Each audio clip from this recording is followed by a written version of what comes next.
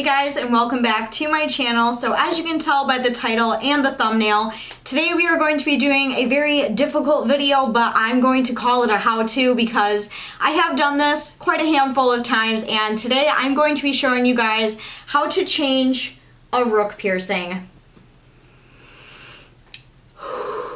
I can already feel the frustration of brewing. So if you guys have your rook pierced or you really want to get your rook pierced, changing jewelry is probably the most exciting thing about having any sort of piercing. But let me tell you when I say that the rook piercing is one of the most difficult piercings to change, I fucking mean it. it is so incredibly difficult. It is a lot harder than it looks. And in today's video, I'm going to be showing you guys how to change out your rook piercing. And the jewelry that I'm going to be using is this little barbell right here that I got from Oufer Body Jewelry. I did just film a whole entire haul on this. So if you guys want to check it out and you want to see everything that I got, all of the goodies that I got, then I will have that linked up in the corner so you guys can easily click on it and check it out. But for my rook piercing today, I'm going to be changing it to this little guy right here.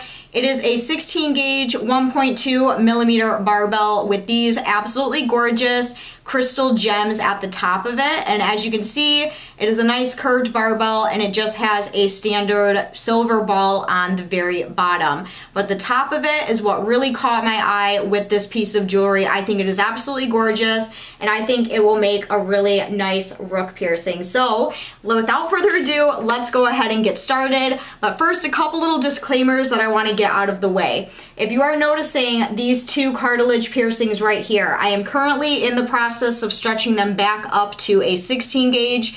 They were at a 20 gauge.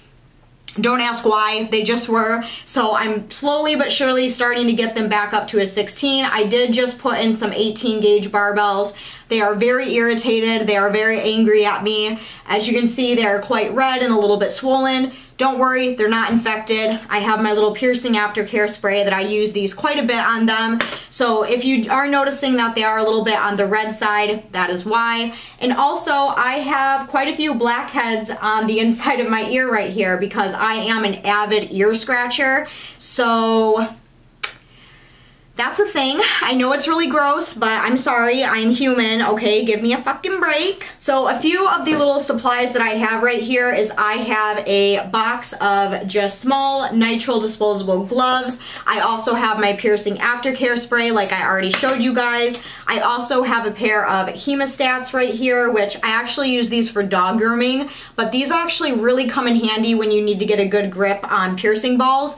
Don't worry, I already sanitized them. And then I also have this really handy dandy ball grabber right here, which is going to come in handy when we screw the bottom ball of this piercing on. Now, this is a YouTube video. This video is going to be edited. Just because the, if this video turns out to be, you know, only 10 minutes long, doesn't mean it took me that long to change it, all right? It's probably gonna take me a good 45 minutes because let's be honest, rook piercings are a bitch. I try not to change them too often because they can be very finicky. They can be very difficult. I already have very small ears and going all up in here in this really small area with all this little, you know, intricate jewelry, it's a pain in the fucking ass. So don't be discouraged if you're doing this with me while you're watching this video. Don't get discouraged if it takes you a long time. Girl, same, same. Without further ado, let's go ahead and jump into this video and try to change my rook piercing. Lord help us all. I, I, let's do this shit. First thing that I'm gonna do is I'm going to pop some gloves on. Now, even though my hands are clean, my piercing is healed, you know, all that good stuff, I just feel like gloves you you get like a better grip on your on your jewelry when you use gloves so that is the main reason for that so I'm just gonna pop these on that way I can grip the jewelry and my finger oils won't get in the way of anything so I mean I'm just gonna pop those on right here the next thing I'm going to do is I'm going to take the ball off of the new piece of jewelry right here with my hemostats. Just kind of twist a little bit. That way it's already apart for when we change it. And the next thing that we're gonna do is remove the old one. So this one I got from Lulu's Body Jewelry. I don't hate this one, but I wanted something a little bit more kind of out there, so I'm going to switch out this barbell for the really cool one that I showed you guys. So I am gonna move you guys in a little bit closer. I know we're already up close and personal, but we're gonna get a little bit closer so you can actually see what I'm doing because nine, what Jack? My dog wants attention. This is the worst possible time to ask for attention, dog. Worst possible time. But where are your toys? Why don't you go get me a toy? I'll throw you a toy. Yes, go get one. Because I'm not one of those YouTubers that's gonna show you how to do something from 10 feet away. So we're gonna get close, we're gonna get up close and personal. You can probably see my eardrum, but that's okay. Let's fucking do this thing. Oh my God, this is really close up. All right, so the first thing that I'm gonna do is I'm gonna push my forward helix piercings as up front as possible. And then I'm going to hold the bottom of my rook piercing right here. I'm gonna slide it up a little bit. And then I'm gonna take my hemostats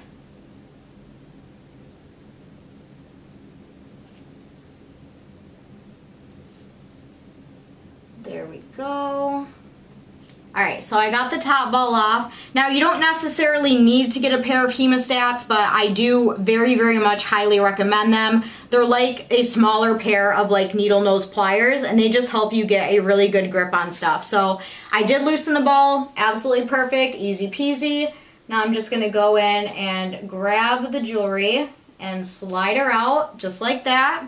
So here is what the barbell looks like out of the piercing. I'm going to take my piercing aftercare spray, the NeilMed. This stuff is really convenient, really easy to use, and I'm just going to give a couple little spritz right there. And then I'm going to take the new jewelry on the hemostats and slide it in like that. Oh my gosh, that is so pretty! Pretty much everything from this point is super easy to do. Super fast, as you guys saw, I got the old jewelry out, new jewelry in really easily. Now the most difficult part is putting the ball on a rook piercing. If you have someone who knows what they're doing and they're very skilled with this kind of thing, fucking sweet. But if you're doing this on your own, oh dear lord, may God have mercy on your soul because this is the most frustrating thing on planet Earth. To take these off now because we will not be using my hands anymore and I'm going to use this little ball grabber. I got this from Lulu's Body Jewelry and I have I have such a love-hate relationship with this little tool right here because even though I feel like it comes in handy, I feel like it doesn't really work that well. Like I've heard a lot of hype about this. I heard that this was really gonna help. But to be perfectly honest with you, unless you have a ball that is pretty decent size, like this size right here where you can very easily see it and grab it, if you have anything smaller than this, it is a pain in the ass. So the one that goes on the bottom of this rook piercing is relatively big, so I don't think we should have any problems with this, but what I do is I take it on the palm of my hand right here, the opening facing down on the palm of my hand. Going to take the little ball holder right here and I'm going to grab it like that. There we go, just like this. And I know you can also get these little ball holders on Amazon as well. And then I'm basically just gonna kind of push the rook piercing in and out like this. And I'm going to line it up.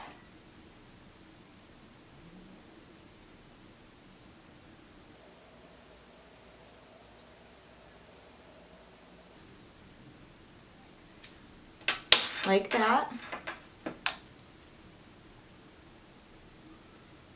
Once you have it twisted on there, you really want to make sure it's on there tight. So I'm just going to go in with another glove. If you don't turn this the right way, it's going to fall out and you're going to have to redo everything that you just did. So I'm trying to like think in my head, righty-tighty, lefty-loosey. So if I'm looking at my ear this way, it's probably going to have to go this way.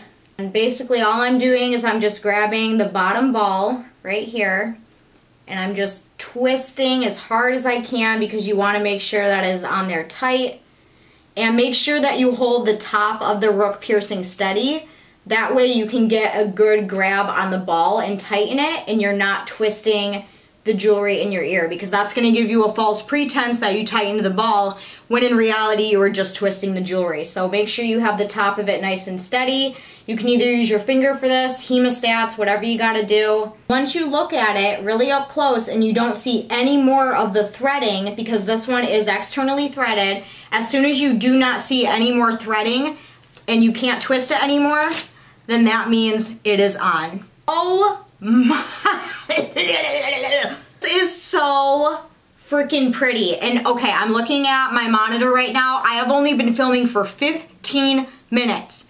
15 minutes! And we changed my rook piercing in 15 minutes. Emoji. Love the length of it. I got a really good length because as you guys saw with the last one, I'll hold it up again. As you can see with the last one, it was quite long and a, quite a bit of it hung down in my ear and it was just really fucking irritating. So absolutely love the gems and the flowers. Oh!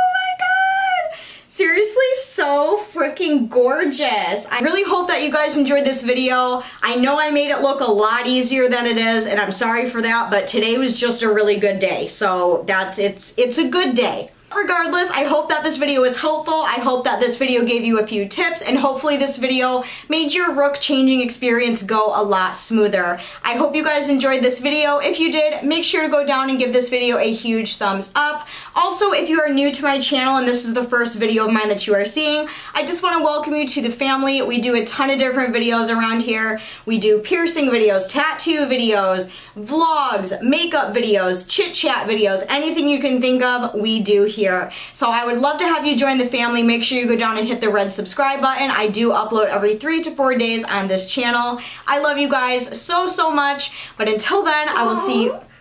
Jackyl, do you want to do you want to do the outro with mommy? Till then, we love you guys so, so much, and we will see you very soon in my next video. Good boy. Bye!